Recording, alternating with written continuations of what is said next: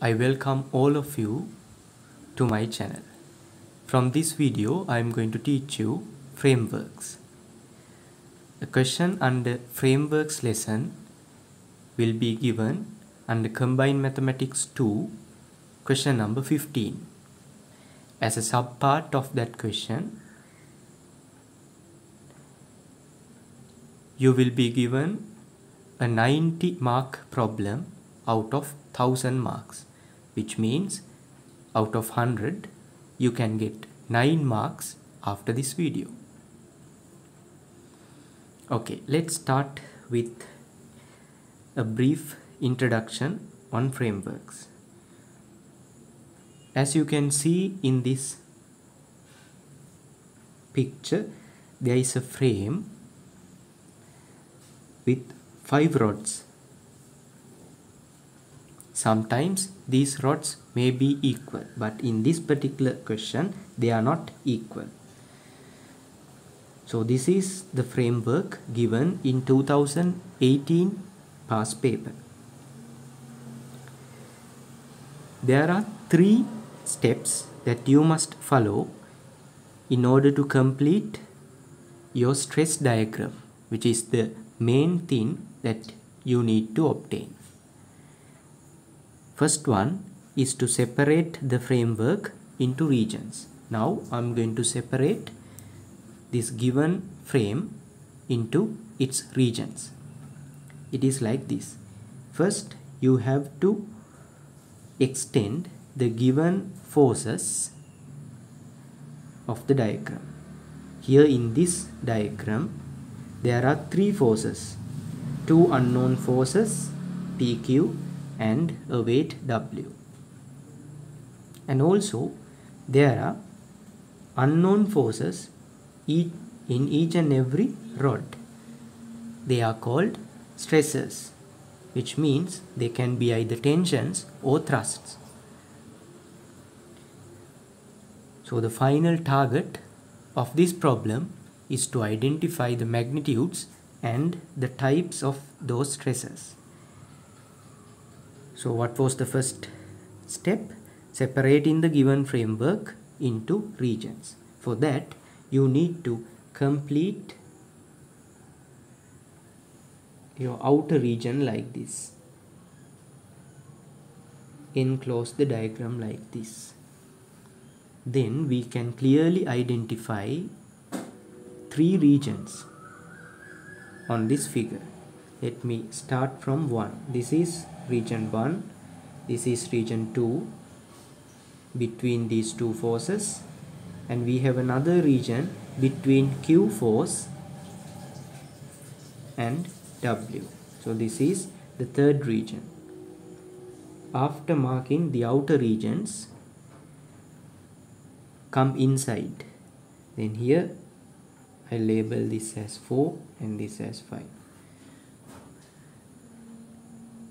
then you have to select a joint with only two unknown forces. Second step is select the joint with only two unknown forces. So what are these forces? Let's start with joint A.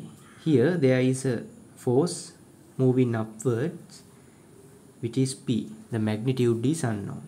Then here we have three rods joining at this point.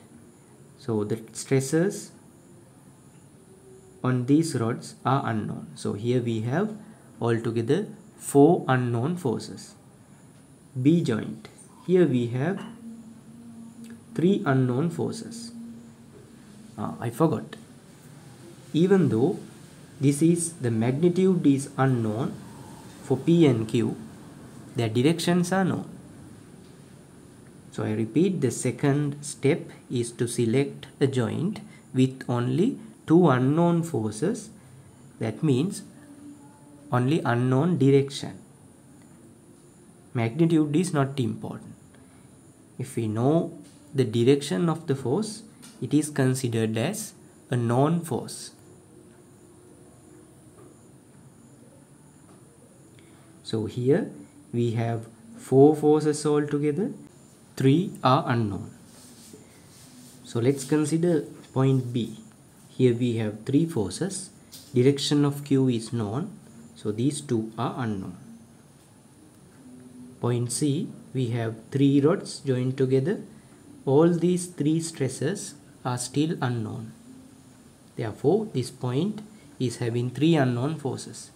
Point D, we have two rods and one external force W. Its direction is given. So here these two stresses are unknown. So we can continue or start our stress diagram from either point B or D because B and D are the points having only two unknown forces. Then third point in framework rotate clockwise or anti-clockwise between regions identifying the forces on rods. So I have selected let's say point B as my starting joint. Then I have to rotate either clockwise or anti-clockwise. So you have to decide what is the rotating sense. For this explanation, I am going to rotate anti-clockwise direction. So mark it in your answer script because in each and every joint in the stress diagram you have to follow the same rotating sense anti-clockwise. Now I can start drawing the stress diagram. First I am going to move between two regions where the direction of the force is known. That is force Q. Since I have selected anticlockwise rotating direction I want to move from this region to this region from 3 to 1 so when shifting from 3 to 1 you can see the force is directed downwards so it is a downward force when moving from 3 to 1 then that is represented in this manner. 3 to 1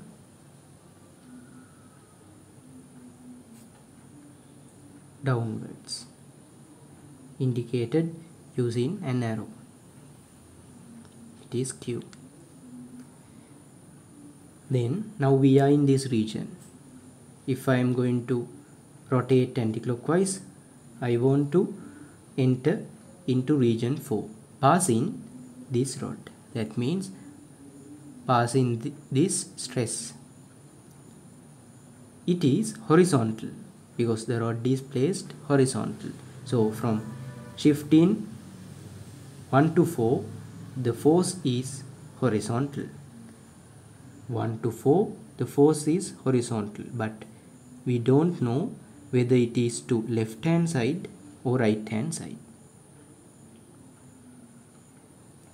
Keeping that horizontal line. The next shiftment is from 4 to 3 4 to 3 it is inclined to right hand side in this direction. If I have marked my point 4 somewhere here. Can I reach region 3 or point 3 in this stress diagram? Moving in this direction. I repeat if I have marked my point 4 here can I reach point 3 moving to this direction because the direction of the third force is this. No. That means point 4 must be marked in left hand side. So somewhere here I can mark point 4 now according to the direction of the third force this direction I can meet point 3 this is 90 degrees.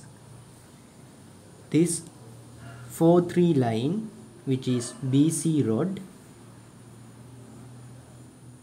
is having an angle theta inclined to horizontal So in this triangle, according to theta angle, adjacent side and hypotenuse is known.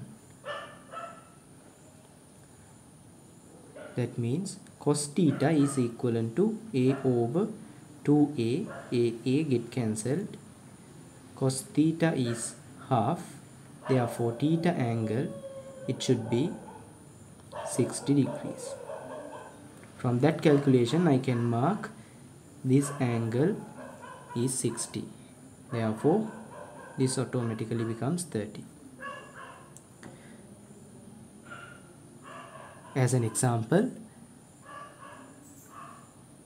following the three steps in any framework problem, I completed the stress diagram for point B, which is the first point.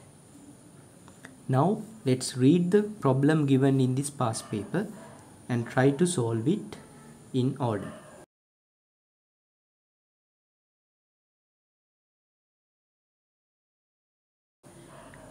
The framework shown in the adjoining figure is made of five light rods AB, BC, AC, CD and AD freely jointed at their ends. It is given that AB equal A, BC equal to A, AC equals CD, AC rod equals to CD, they are equal and CAD angle is 30 degrees. If this is 30, since this is an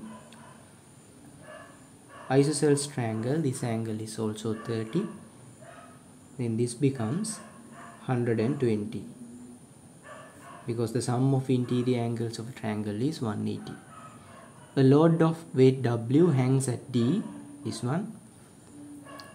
And framework is in equilibrium in a vertical plane with AB horizontal and AC vertical supported by vertical forces P and Q acting respectively at A and B in the directions indicated in the figure. Find the value of Q in terms of W. So first problem is to find Q.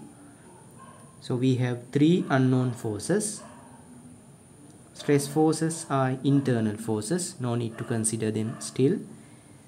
From these three forces, I have to find the magnitude of Q.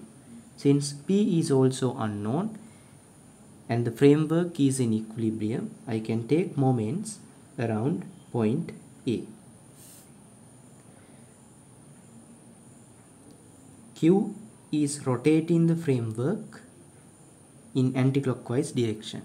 Therefore, anticlockwise moment Q times separation is A is equivalent to clockwise moment created by W. Then the distance, perpendicular distance from point A to this line of action of force W is to be calculated. How to find that? I can apply Pythagoras relation for this right angle triangle and obtain the length of AC. AC is equivalent to 4a square minus a square square root which is root 3a.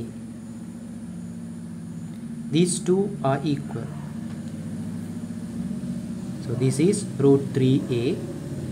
I can resolve CD in this direction to find the perpendicular distance from A to this force which is similar to the distance from C along this dotted line to this line of action which is this angle is 30 because this part becomes 90 degrees.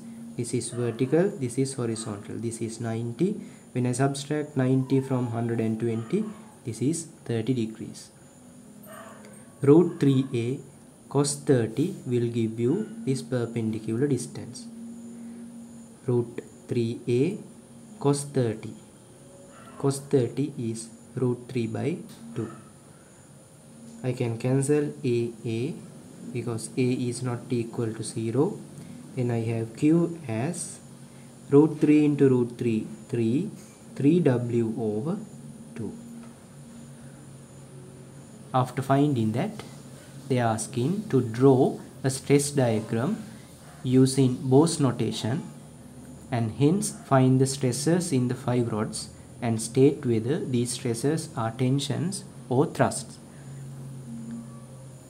So the three points which I gave you to follow in order to draw a stress diagram is known as Bow's notation theory. Using Bow's notation theory, we can continue to draw the stress diagram. So I have started it from point B, joint B. Now I have to select another joint where only two forces are unknown. Before that, from this part, I have to mark the directions of the stresses on AB and BC because I have already marked them here. 1 to 4 is the two regions around AB rod. So from moving 1 to 4 the direction of the force is this manner. that means to left hand side. So the stress on this rod is marked in this direction because the point I used to rotate anticlockwise is B. So I have to indicate the direction to right hand side to left hand side along AB rod closer to B because B is the rotated point.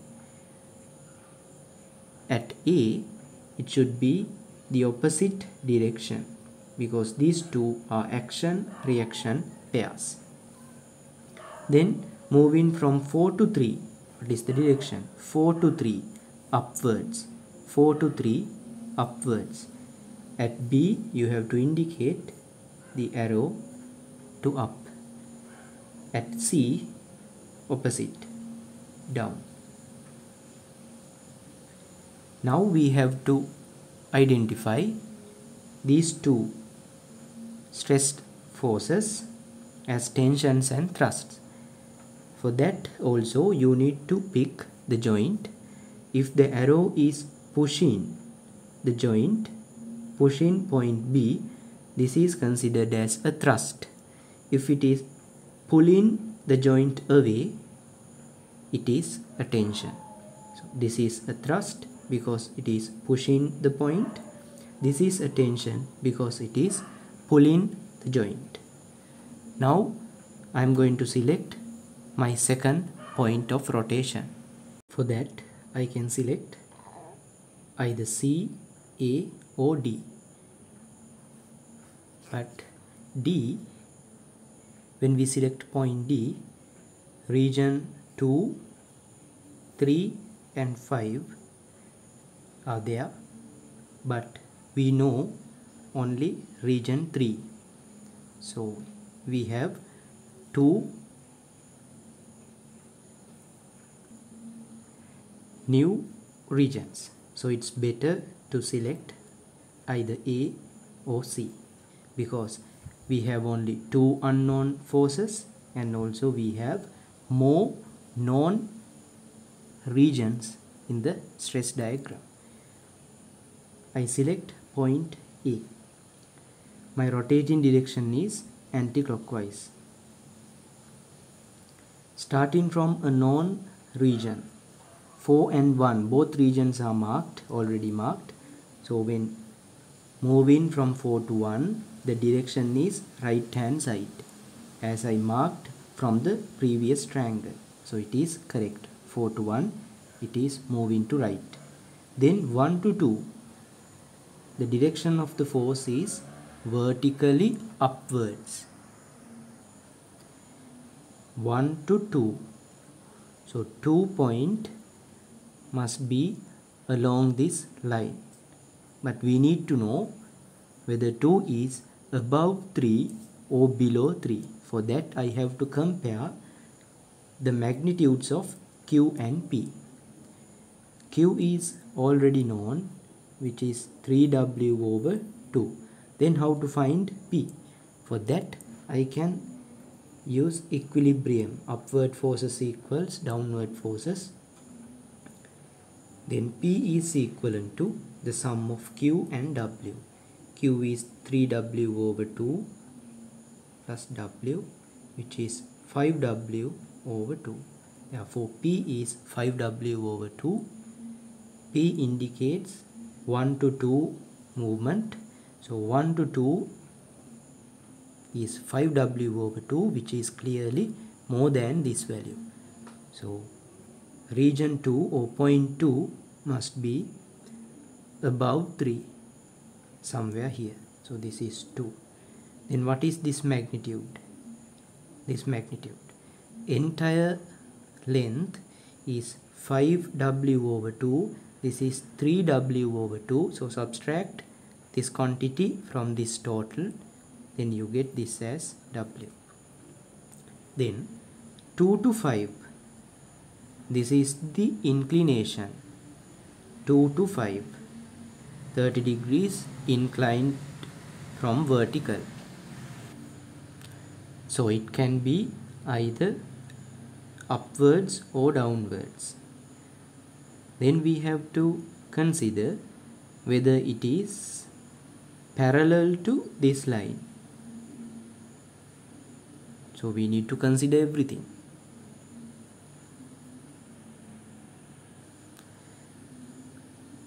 The angle between this line with vertical is 30 so this is the vertical. This is also inclined 30 degrees to vertical. So the line which I am going to draw now is also 30 degrees inclined to vertical. That means both these lines must be parallel. So I will mark a short line like this because we don't know. 0.5 is upwards or downwards. Then 5 to 4 it is vertical. 5 to 4 is vertical. So if I mark 5 here can I reach my point 4 in this stress diagram by moving downwards. No it is somewhere here. So I have to move I have to move downwards to place my point 5 so it is vertically above point 4 so you have to consider those kind of things when completing the stress diagram. So this is point 5 which is 30 degrees inclined to vertical. This is vertical. The angle should be 90 this is also 30 these two lines are parallel to each other. Then what is this magnitude? These two are allied. Sum is 180 it should be 150 these two are also parallel. Both of them are vertical. Then this is a parallelogram. Then opposite sides must be equal. This is also w. Now I have to indicate the new stress forces. 2 to 5 what is the direction? 2 to 5 is downwards from 2 to 5 you have to move down. Then I'm rotating around point A 2 to 5 should be down. So near point A I have to indicate a downward arrow. Then its opposite reaction is upwards at this end.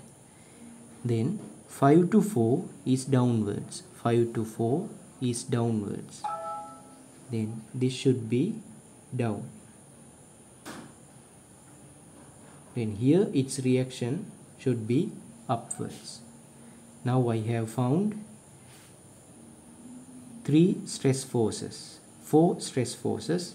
This is the only one. I need to find. Then I can select either C or D. I am going to do with point D. Starting from known points 5 and 2 and rotating direction is anticlockwise. 5 to 2 is upwards because now I'm going to rotate around D. 5 to 2 is upwards. Then 2 to what is this region? Same region over here. Same region which is 3 then 2 to 3 should be down because this is downward W weight. 2 to 3 is down. Magnitude is W. Correct. Then 3 to 5 so here we have 3 3 to 5 both are marked already marked. Now I can join them.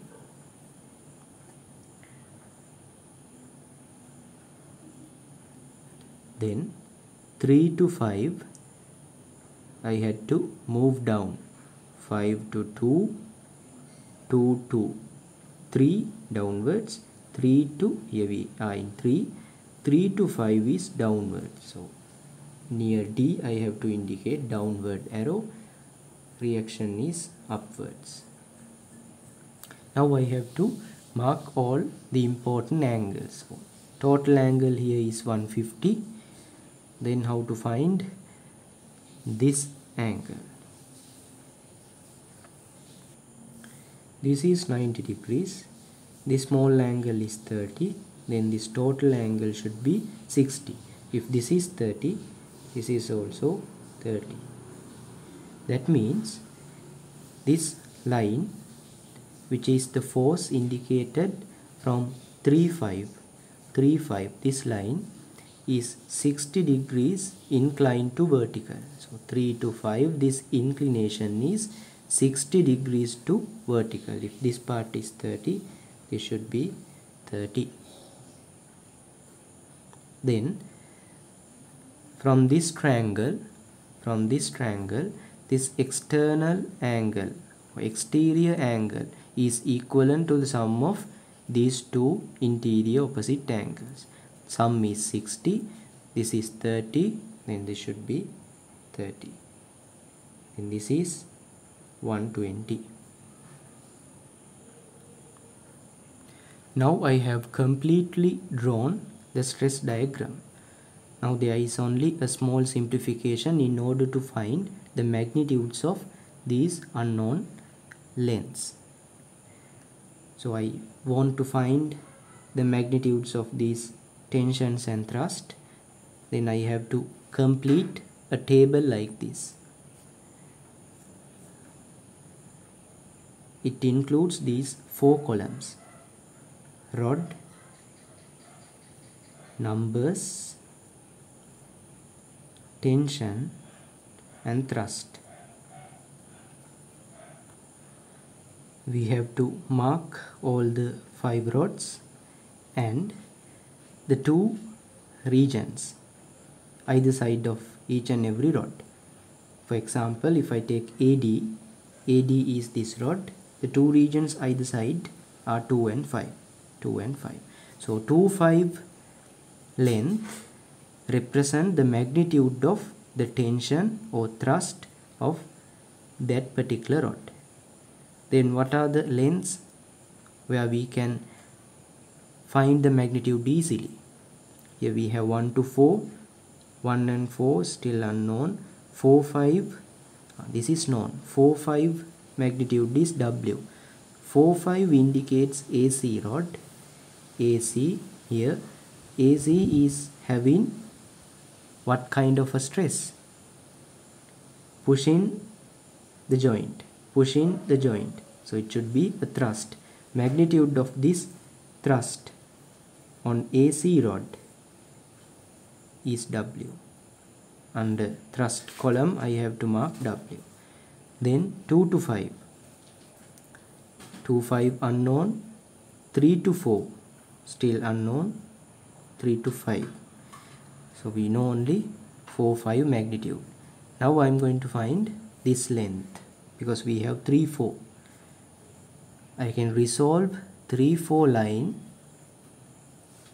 in this direction which is equivalent to this line 3 w over 2 so this is a small rough work calculation. Resolve 3 4 3 4 is BC sine 60 away from the angle is equivalent to Q which is 3w over 2 sine 60 is root 3 over 2 can cancel them. Then I have BC as root 3 W so BC here BC is having a tension. It is pulling the joints away. So it is a tension along BC magnitude root 3 W. Then 1 to 4 I can resolve 3 4 which is BC downwards. So BC cos 60 will give you 1 to 4 what is 1 to 4 AB root 3W over 2 is your AB AB 1 to 4 is indicating a thrust. Magnitude root 3 over 2 W. Then what is this? AD AD here 2 5 2 to 5 it is equal in length to 3 4 so 3 4 was root 3 W. 2 5 is same magnitude root 3 W. But AD indicates a thrust. Should be written here root 3 W.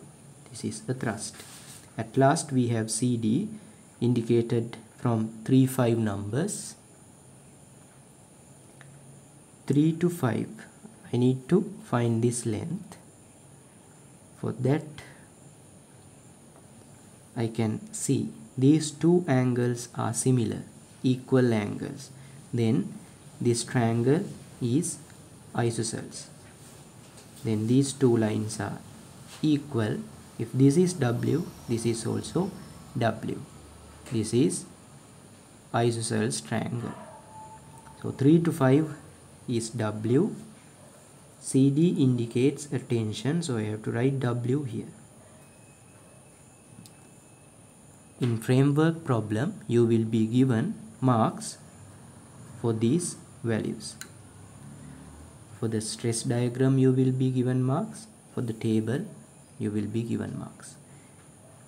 In the meantime you have to calculate these kind of things since they have asked this in the problem you will be given marks for this as well. These are rough work.